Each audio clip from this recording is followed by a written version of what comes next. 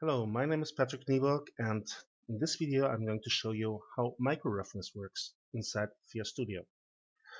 Before we uh, get into micro-roughness, let's have a quick look at our regular roughness. We have a, a simple scene with some columns that increases distance to this uh, plane, which we have a mirror material applied. And uh, let's have a quick look how this looks like and you see we have a crisp reflection with roughness 0. Now let's increase the roughness to something like 5.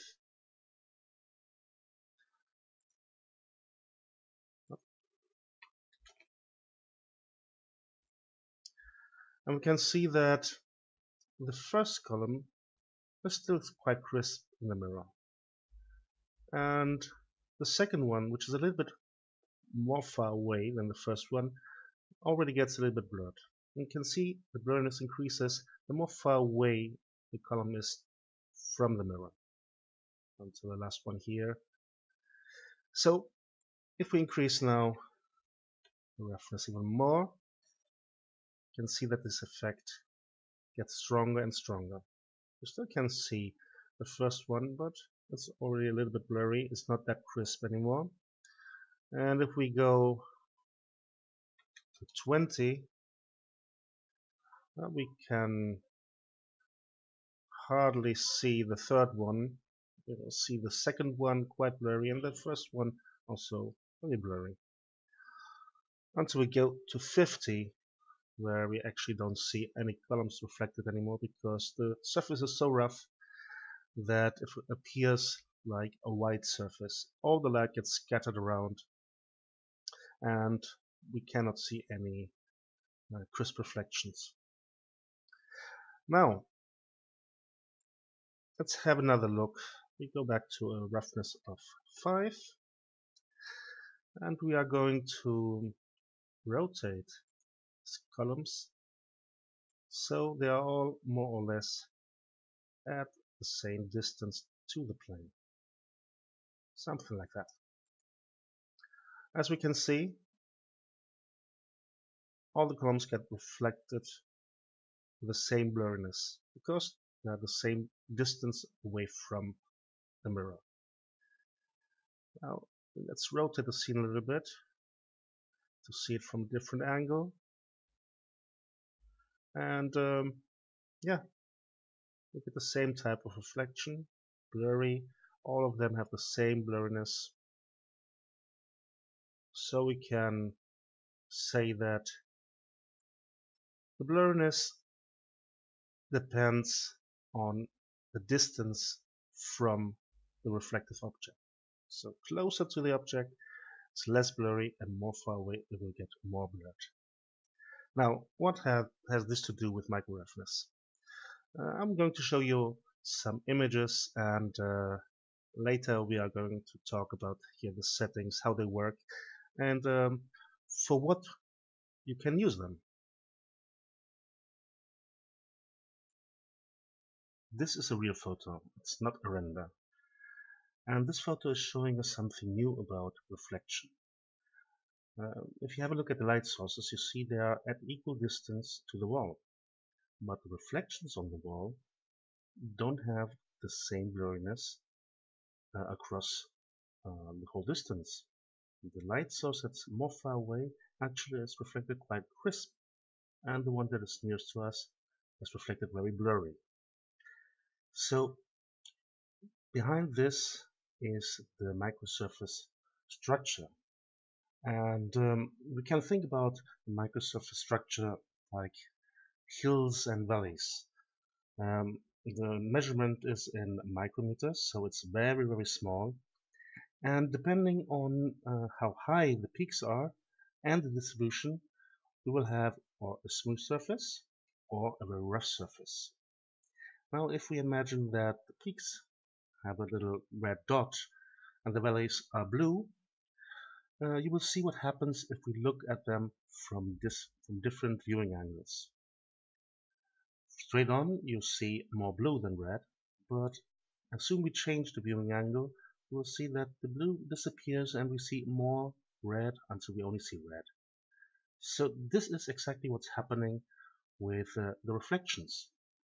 And uh, let's see this um, inside Thea Studio, uh, how the settings affect the reflections and how we can reproduce this uh, kind of view-dependent reflection. So uh, here we are again in Thea Studio and um, I recreated the photograph uh, more or less. It was more to get the correct perspective so we can focus on the wall. There are a lot of details missing but uh, for our purpose which is this wall over here and this one uh, it's enough. So actually we don't need the whole scene we only need the wall and the lights so I'm going to turn off the layers we don't need and um, let's start you see this is the image the background image. Uh, can turn it off here. And uh, we also turn off the overlay mode. Yeah, let's see. Okay. So um, you can see everything is lined up correctly. And um, yeah we see already the problem here. The slides uh, don't look like in the photo. Quite blurry. Um, if we disable visibility for a moment we can compare and you see there's no way this belongs to this light source and it's quite crisp and it gets blurred away. Now in our case they all have the same amount of blurriness. So let's see if we can do something about it by reducing the roughness, let's say to 5. Nope. If you look again, you see this part is very blurry and our example it's too crisp.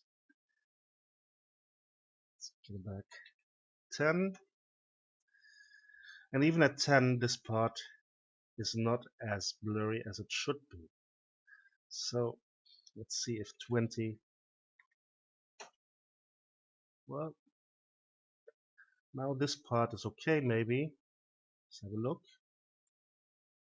Uh, it could be but you see we are unable to get this crisp reflections of the light sources. Now here is where we can enable micro roughness. And we already see that something has changed. This light source uh, this reflections here are starting to get much more crisp and we still get this blurred reflection over here. By the way this value this roughness value will represent um, the roughness when you look, look at the object straight ahead it's like, uh, let's change camera for a moment. He's looking now at the wall, straight to the wall, and you see now the light sources have the same amount of blurriness, and it corresponds to the roughness value over here, our case 20. Let's go back to our camera. Now, if we look, uh, we see that uh, it's we are not quite there. They all have to be much less blurry than we have it right now. So let's play with the settings. The height setting is mm, the one that has most influence of uh, how the reflection will appear. So if we increase this, you see it's getting more blurred. So we have to go the other way around let's set this to maybe 150 and okay. You see that first source is getting quite crisp. Second one let's compare it again. Well I think we have to reduce it a little bit more. Let's see. If we go to 100 well 100 seems to be to be a little bit too much. Because if we compare again, yeah, this one has to be much more blurred. So we can say probably say 30 hmm, 20 yeah this could be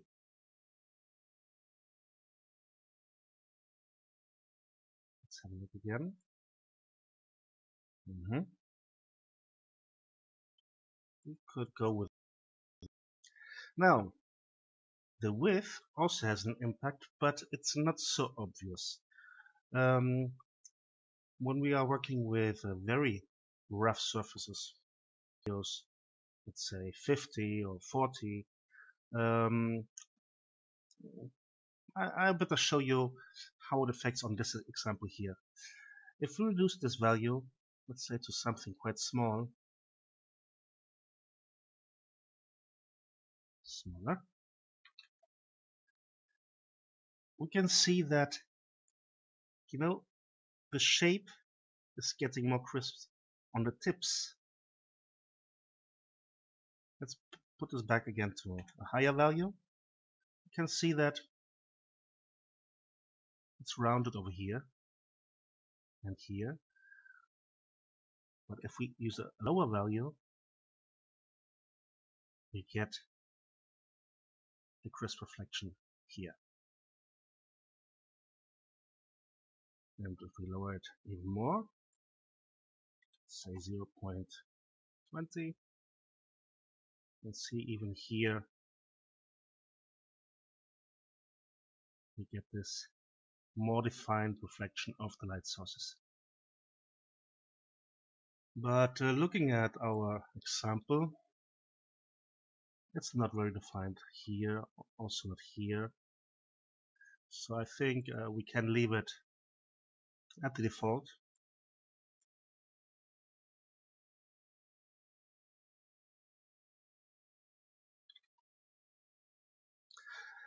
But uh, there's something more walls normally are not perfectly straight they have some wobble some uh, reality is never perfect so if we look again we see that there's some unevenness and uh, we can mimic this with a bump map. So I have here a bump map and let's drop it in. Way too much. Okay, this looks better, but probably can reduce even a little bit more we could probably also go inside the texture and play with the contrast, the, the offset. But I think um, we're getting the effect. Compare it again. Yeah, it's looking closely. But there's something more. It looks like, you can see it also over here, we have one reflection and then we have like a, a blurry one around it. You can see this on all of them except on this one, which seems like a big blurry reflection. Now, this is like a double reflection, and we can reproduce this quite easy just by copying. Now, let's uh, first enable our material again, invisibility, and we are going to copy the material and paste it. Now, what I like to do, this is just a static thing, is to put one above and then use the weights.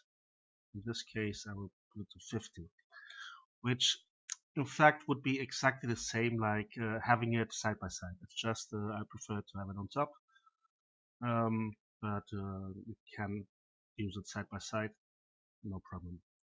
Now, we are going to say that the button 1 we are going to disable reference and now suddenly we have this secondary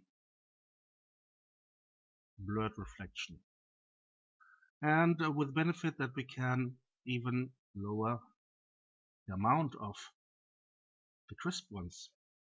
And you see now we're getting quite close to what it looks like over here.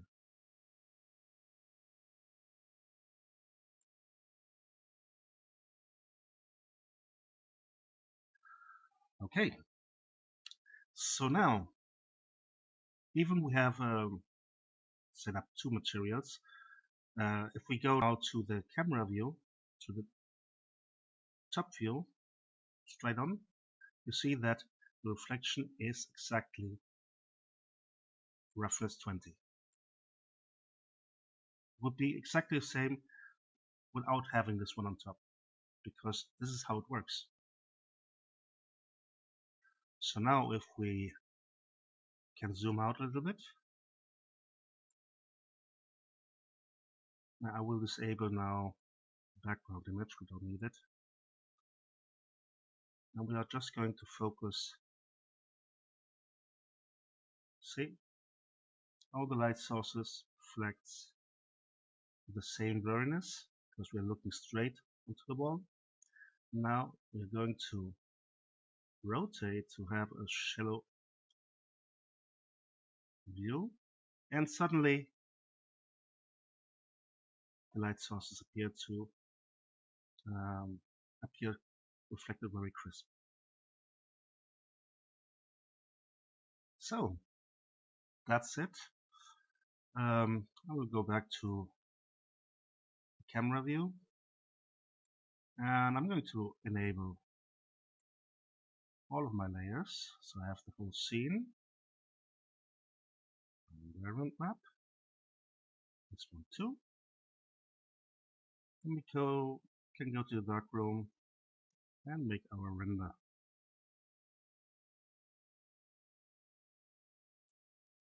Okay, let's compare the final render with uh, photo. And um, well, it's not the final render. there's a lot of work to do still. I have to add some details. And I also only use plain colors. I didn't use any texture except for the bump map on the walls. So now it's time to add blurred maps, roughness maps, to introduce this imperfection that um, is so characteristic of reality. Uh, also for the walls you can see that on the photo, on the second uh, reflection of the light source, there seems to be some uh, it's not that even this part so I would introduce this also on the geometry level on the model. And um, well can also see some dirt over here and there. All this will add to the final realism. You can see it on the ceiling that some panels are not lined up perfectly. So yes. Uh, now finally about uh, micro roughness. Um, you don't see it on all objects because it really depends on the viewing angle and on some materials you have to have a very very shallow viewing angle to see um, a variation in reflection. So the best thing you can do is actually take a photo straight on to get the general roughness of the material and then take some more photos from varying viewing angle until you see the variation in uh, reflection. Um, you can see uh, this kind of phenomena also on very rough materials like concrete. But if you want to have a small sample, you won't see you won't see it because the structure don't have enough to show this effect. So, but if you see it on on a long floor, then you will have enough of um, microstructure that can build up this effect. I'm going to show you now some other photos uh, where you can see this effect. For example, here on um, a painted wall.